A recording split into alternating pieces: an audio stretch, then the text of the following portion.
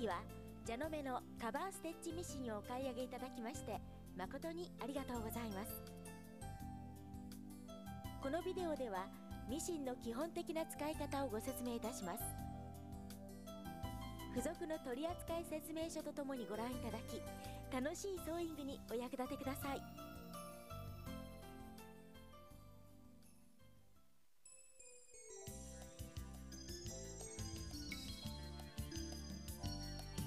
まず電源スイッチが切れていることを確認してください。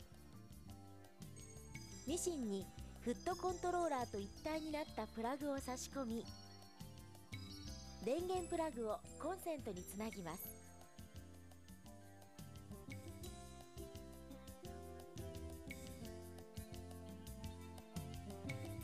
糸を通すときは安全のために電源スイッチを切っておいてください。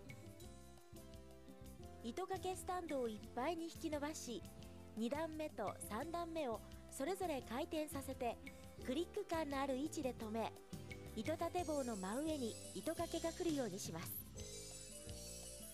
糸は左から順番に通してください。それでは一番左側の左針糸を通してみましょう。押さえを上げます。弾み車を手前に回して針を一番上にします。糸こまから引き出した糸を真上の糸掛けにかけます。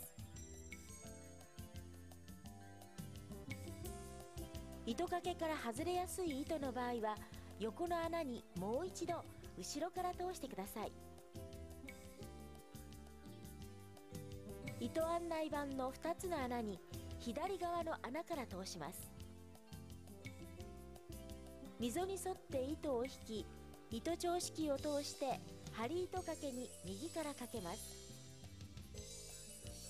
この時糸の両端を持って前後に引き糸調式の2つの糸調子皿の間に確実に入れてください。次に左針糸掛けにかけた後天秤カバーの上側を回すようにかけます。糸案内に右からかけた後針糸押さえの左側にかけます。針糸案内の一番左のガイドを通し針棒糸掛けに右側からかけます。次に糸通し器を使って針穴に糸を通してみましょう。糸通し器は三角マークを上にして持ちます。糸を先端の横向きの溝に挟みます。縦向きの溝を針の中ほどに当てて軽く押し付けたままゆっくり下に滑らすとピンが針穴に入りますのでそのまま奥に止まるまで押し付けて糸通し器を外せば糸が針穴に通ります。糸の輪を糸通し器のフックにかけて引き出せば針糸通しは完了です。糸は10センチほど後ろの方へ引き出しておいてください。左から2番目の中央針糸その隣の右針糸も糸の通し方は左針糸と同じです。中央針糸と右針糸は針糸押さえの右側にかけ中央針糸は針糸案内の中央のガイドに。また右針糸は針糸案内の一番右側のガイドに通してください。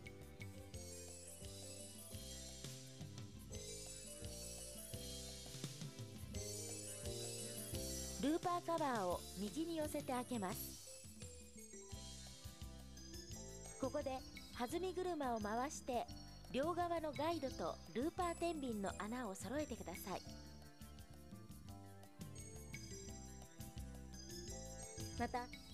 ルーパー糸調節つまみは右側にセットしてください。糸こまから引き出した糸を糸掛けにかけ糸案内板の2つの穴に左側の穴から通します。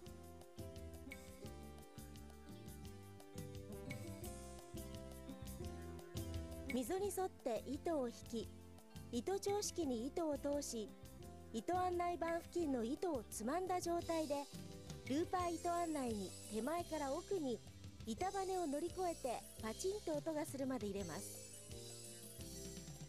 この時糸は針糸と同様に糸の両端を持って前後に引き糸調式の2つの糸調子皿の間に確実に入れてください。ルーパー天秤の穴に両側のガイドの穴とともに通しルーパー糸掛けにかけます。ルーパー離脱つまみを引き出し右側に倒してから糸をルーパー糸案内穴に通します。そして付属のピンセットを使ってルーパー糸穴に通し10センチほど後ろに引き出してください。ルーパーを左方向に押して元の位置に戻せばルーパー糸通しは完了です。なお次に糸を交換する場合は針糸ルーパー糸ともそれまでに使用していた糸を糸コマの近くで切り交換する糸と結んで引き出せば簡単に糸交換ができます。この時針糸は結び目が針穴を通りませんので手前で切って糸通し器で通してください。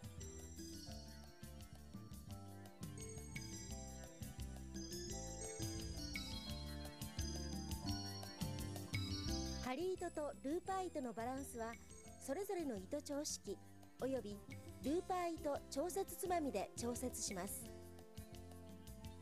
通常針糸は3箇所とも糸調式の目盛り4を。ルーパー糸は目盛り3を目安にしてください。またルーパー糸調節つまみは右側にセットしてください。同じ布で試し縫いをし糸調子を弱くしたいときは小さな数字に合わせますまた糸調子を強くしたいときは大きな数字に合わせてください厚手の布を縫う場合糸調式やルーパー糸調節つまみの位置は通常と異なりますので取扱説明書をご参照ください。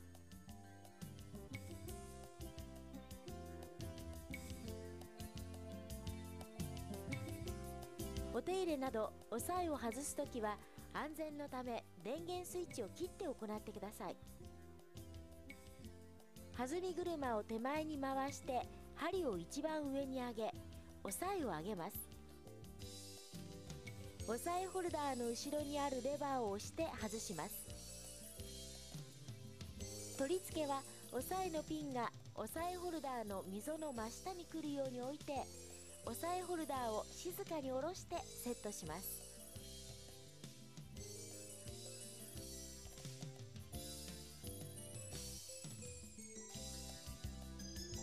このミシンの押さえ圧はほとんどの生地に合うように調節されています。極端に薄い布の場合はネジをマイナス方向に回して押さえ圧を弱くします。また極端に厚い布の場合はプラス方向に回して押さえ圧を強くしてください。縫い終わりましたら元の標準の位置に戻しておいてください。ネジの上部の位置がミシンの上面からおよそ 10mm が標準の位置です。ネジに目安の指示線がついていますのでミシンの上面に合わせてください。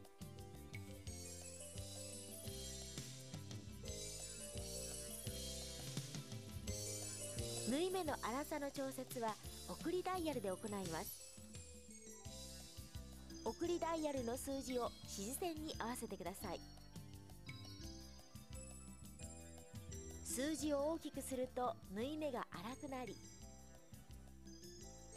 数字を小さくすると縫い目は細かくなります。通常はメモリ3から3.5の範囲に合わせてお使いください。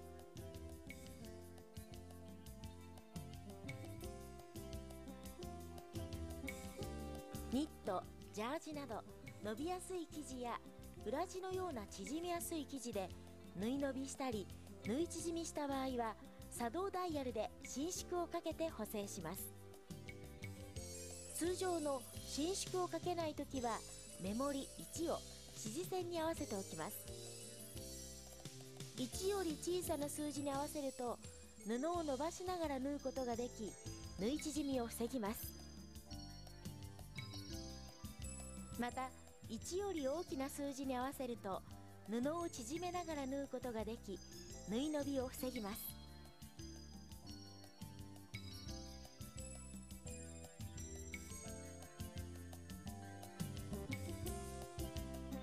針の交換は安全のため電源スイッチを切って行ってください。針を上げて押さえを下げます。付属の小さい方のドライバーで針止めネジを緩め針を外します。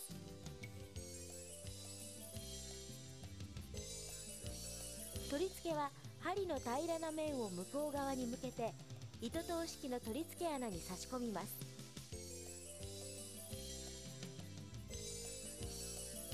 そのまま奥いっぱいに突き当たるまで押し込み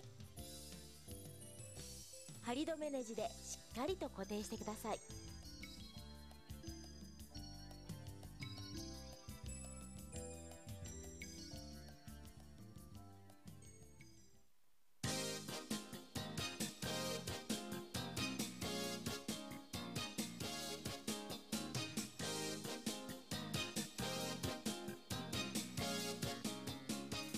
トリプルカバーステッチは3本の針糸とルーパー糸を使い布の表側が3本の直線状の縫いになります。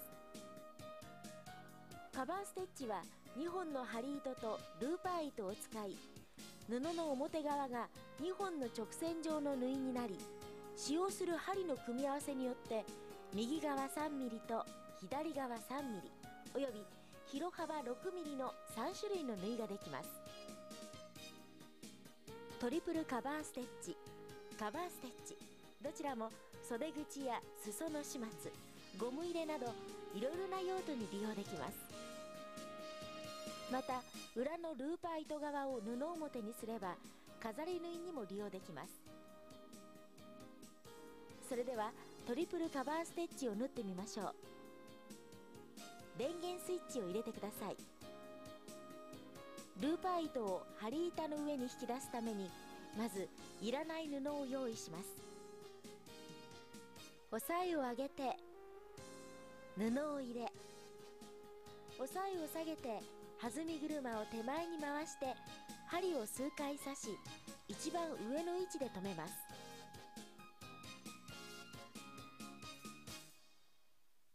押さえを上げ針穴の手前で針糸を引き出してたるませます。布を後ろに引き出しルーパー糸を針板の上に引き出し糸を糸切りで切ってください。次に目的の布を入れ押さえを下げます。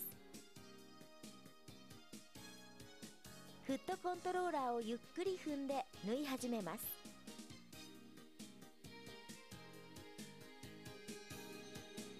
縫い終わりに来たらミシンを止め弾み車を手前に回して針を一番上に上げます。押さえを上げ針穴の手前で針糸を引き出してたるませます。布を後ろに引き出し針糸とルーパー糸を糸切りで切ってください。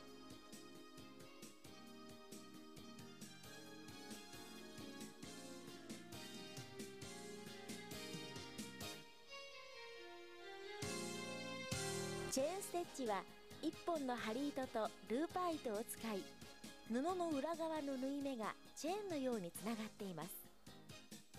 これは二重間縫いとも呼ばれ伸縮性布地の縫い合わせやゴム付けテープ付けなどに適しています。チェーンステッチは縫い位置に適した針を1本だけ選び残りの針は外しておきます。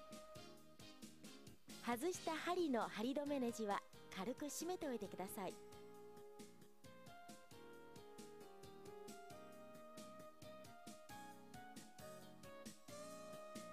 このミシンは筒物などを縫うフリーアーム縫いができます。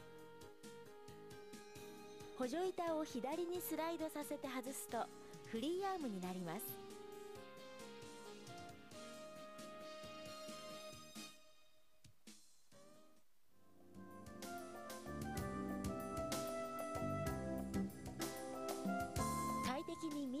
使いいただくために定期的にお手入れをしてください。安全のため電源スイッチを切ってから電源プラグを抜いておきます。押さえと針を外してからルーパーカバーを開けます。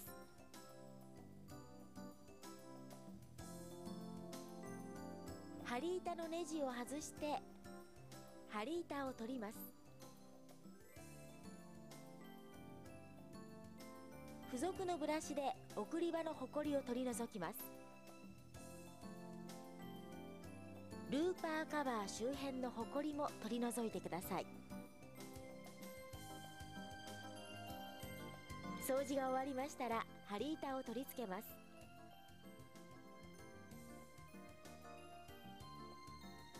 ルーパーカバーを閉めて針と押さえをつけてください。いかがでしたか？カバーステッチミシンの基本的な使い方お分かりいただけたでしょうか？詳しくは付属の取扱説明書をご覧ください。これからも良きソーイングパートナーとしてジャノメのカバーステッチミシンを末永くご愛用ください。ありがとうございました。